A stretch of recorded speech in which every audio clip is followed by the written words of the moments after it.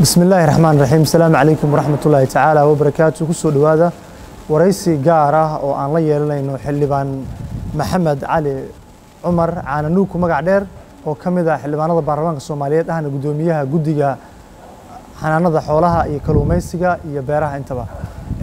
Marka hore ku soo dhowow soomaali kebal aad iyo aad umahadsanta xildhibaan sida aan la soconno soomaalidu waa dad xoolaaley ah waa dad beeraaley ah waa dad kalluumaysato ah. Saddexdii guddiga adiga guddoomiyugu ah. Arrimaha beeraha ayaan ku horumarayaa soomaalidu way soo qaxeen dhibaataa gaartay waxay u baahan yihiin dib u dejin iyo abuur iyo dalag inay helaan. Arrintaasi dadaal ceenkee ah ayaad u gasheen. Waa mahadsan tahay runtii waxaan kaaga mahad celinaa waraysiga gaarka ood ila yeelanayso t v-ga somali cable si gaara ayaan ugu mahad celinayaa waa arrin muhiima in laga hadlo arrimaha beeraha waa la socotaa soomaalidu ama saad adiguba u sheegtay soomaalida waa dad beereley ah. Dalkii abaar badan ayaa ka dhacday waa la soo qaxay dadku way soo barakaceen. Caasimaddii gobollada soomaaliya intaba waa lagu soo barakacay.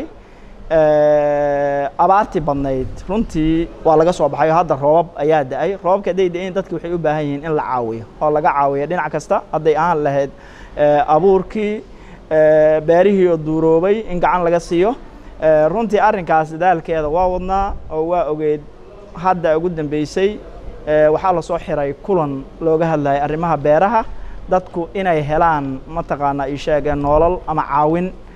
Arrinkaas marka insha allahu tacaala waa ka shaqaynaynaa haddii aan nahay guddiga shaqada leh hawshaas ama baarlamaanka soomaaliyeed in la caawiyo dadka dhibaatada ay ku dhacday ee beeraleyda ee soo qaxay ee jooga caasimadda ama gobollada soomaaliya intaba.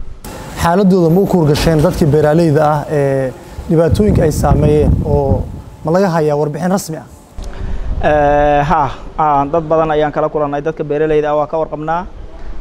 Runtii beeraha waxaa ku dhacday abaarihii dhacay beeraha saameyn badan ayay ku yeesheen. Sidaad la socota beeraha soomaalidu ay sameeyaan laba nuuc u ah. Kuwana waxay ku baxaan roobka kuwana waxay ku baxaan waxaa lagu sameeyaa webiga oo kanaaladii marka waa dareemi kartaa dal intaas oo sano dowlad la'aan ay ka jirtay dhibaatada ku dhacaysa dadka beeraleyda ah. Beerihii waxaa laga yaabaa inay iska duugmeen oo kanaaladii way duugmeen. Beeraha qaar waxay iska noqdeen duur oo hood ay noqdeen. Marka arrinkaas annaga ka guddi ahaan waa u kuurgalnay wasaaradda beerahana waxaan rajaynaynaa inay shaqo badan ay ka qaban doonto haddii ay ahaan lahayd abuurka ay helayaan dadkaas iyo in beerahooda lagu caawiyo dibodejin looga sameeyo oo gacan lagu siiyo. Kulamada ugu horreeya baarlamaanka ee furmaya ee nagu soo aadan waxyaabaha ugu badan ee hor yaalla maxaa ka mid baarlamaanka horta weli ma furmin. Waxaan rajaynaynaa sideedda bishaan inuu furmo. Dabcan wasaarad kasta waxaa laga sugayaa qorsho.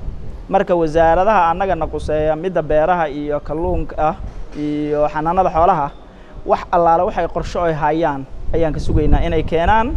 Annagana ka guddi ahaan gobollada oo dhan guddigaana way kala aadeen oo macluumaad ayaa laga keenayaa marka waxaan rajaynaynaa macluumaadkaas ay keenaan qolooyinka guddiga iyo wixii qorshayaal ay u hayaan wasaaradaha.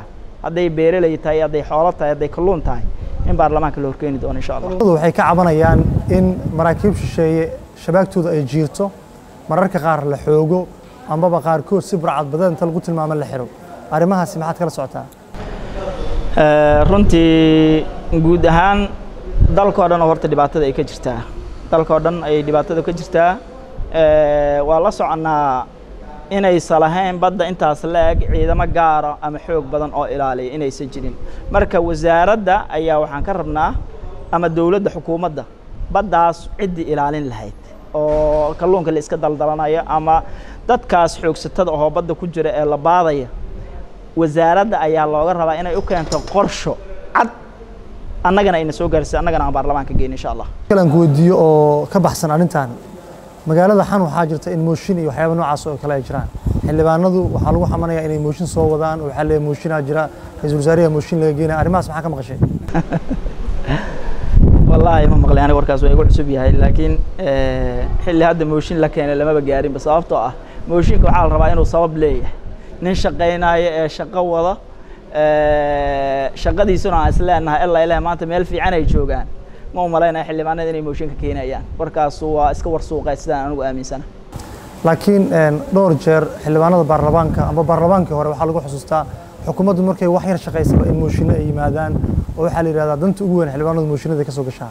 Marka haddii even arrimahaas oo kale ay jiraan maxaad dhileed xildhibaanada? Mid ka bedelanahayna annagu waxaan leenahay haddii xildhibaanadii hore lagu aqoon jiray mooshin annagu waxaan rabnaa xukuumaddan uu khayre hogaamiyo iyo dowladdan uu madaxweyne farmaajo iyo khayre ay hogaamiyaan inay isla dhamaystaan. Afarta sano oo mandate ay haystaan insha allahu tacaala. Sababtoo ah taas waxaan u leeyahay haddii ninka lix bilood markuu joogo lagu dhega hadduu madaxweyne yahay ama ra'iisul wasaare ama taliyo ciidan yahay dalkii horumar ma samaynayo. Ninka asagoo shaqadii ay u tahay qabyo oo wixiisu ay qabyo yihiin a shaqadii laga eryaa markaasaa mid kalea la keenayaa oo shaqadii hadda kow iyo kow haddana bilaabaya marka ilaahayga subxaana qaadirkan waxaan ka rajaynayaa ummaddan ilaahay inuu nabad u keeno dowladdii soomaaliya lagu aqoon jiray ilaahay uu noo soo celiyo dalka dhibaato badanaa ka jirta. Laakiin hadda waxaa noo muuqda iftiin fiican iyo hididiilo fiican. Xukuumadda xasan cali khayre uu hogaamiyo iyo shaqada hadda ay waddo. Annaga waa ku qanacsannahay. Xildhibaanada dowladda federaalka inay la shaqeeyaan xukuumaddooda ay garab istaagaan ayaa ka go-an.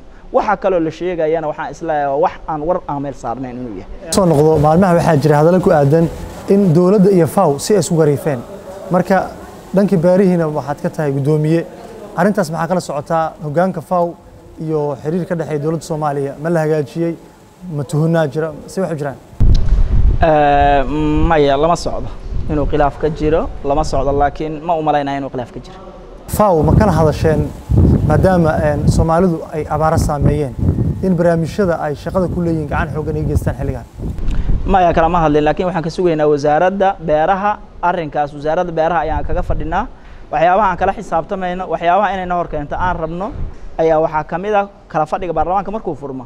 Waxa ay ugu tala gashay qorshaha dadka beeraleyda ee soo barakacay dhibaatada ay ku dhacdo. Taxnaanada xoolaha haddaan u soo laabto waa wasaaradaha ugu badan ee dakhliga uu ka soo galo dowladda. Marka xoolo la dhoofiyo amba xoolo iib loo geeyo haddana shaqaalahooda waxay cabasho ka muujinayaan in lacagahaas aysan arkin oo mararka qaar shaqaalihii mushaaraadkooda uu maqan yahay ayadoo wasaaraddiina lacag fara badan ay soo xiraynayso marka qorshe ka duwan qorshihii xukuumadihii hore ama baarlamaankii hore ee ka horreeyey ay kula xisaabtami jireen. Ma jiraan mid ka duwan ood kula xisaabtamaysaan wasaaradda xanaanada xoolaha? Waa mahadsan tahay waa su'aal aad iyo aad muhiim u ah.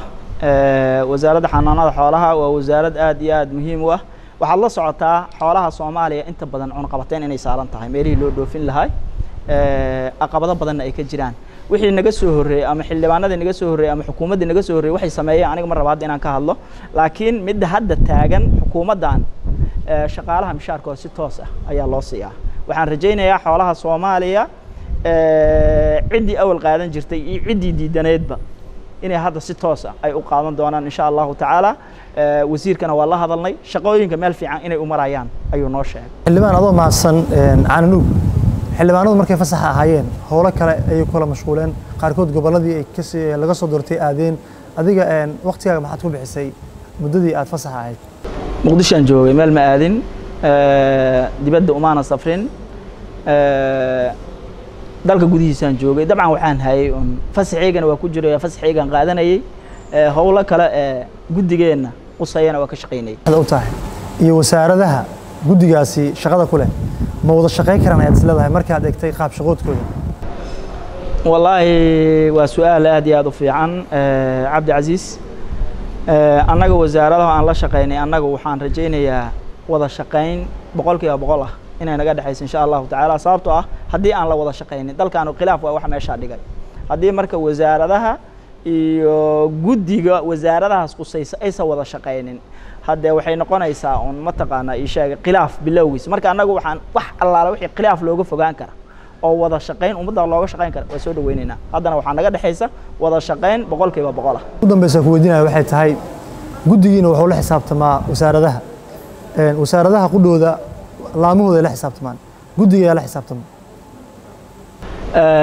guddiga baarlamaanka.